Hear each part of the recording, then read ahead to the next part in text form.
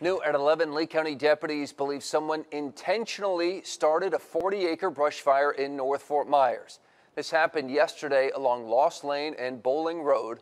Witnesses saw the guy in this picture watching the flames before running into the woods toward the Suncoast Estates.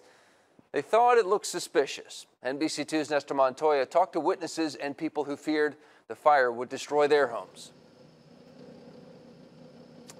Well, this fire required multiple crews to put it out. It even resulted in several people evacuating from their homes. Now, we talked to people who say they just want whoever is responsible for this charred aftermath to be locked up.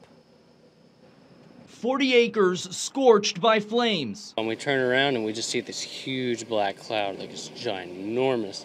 And then we saw another one forming. The fires started small but quickly spread. That's my one fear living out here with all the dry woods and people are stupid. At times, getting too close to homeowners who feared losing everything. I gathered up a few things just in case, you know, valuable things that you couldn't replace. And um, just waited to see what they're going to tell us to do. Crews battled flames both on land and in the air, but say this brush fire was no accident and are now looking for this man suspected of starting it. He had um black shirt, red gym shorts with black spandex on underneath. Robbie Heckman was with a friend when they saw the man acting strangely, walking away from the fire. Yeah, he just walked on, walked on by, and next thing I seen flames, smoke come up because it started down there. He was seen taking off into the woods heading towards Suncoast Estates. Now, deputies are on the lookout. They put a lot of people's lives at risk. And homeowners want him caught before he sparks another fire. Apparently, if they're getting off on it, they're going to probably want to do it again. They need to catch him. I mean, it could have burned down horses, or barns, a house.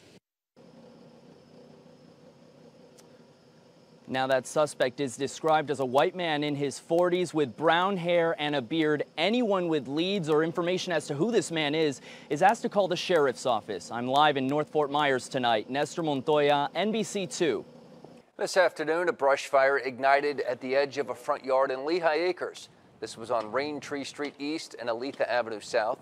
The homeowner told us he smelled the smoke from inside his house when he stepped out, he saw the flames. Firefighters were able to put it out. A Cape Coral man is accused of trying to burn his ex-girlfriend's house down in North Fort Myers. Investigators say 67-year-old Robert Harlow set fire to the mobile home in November after an argument over a truck. His ex-girlfriend and her twin brother were inside at the time. Neither were hurt, but now Harlow is facing attempted murder charges. So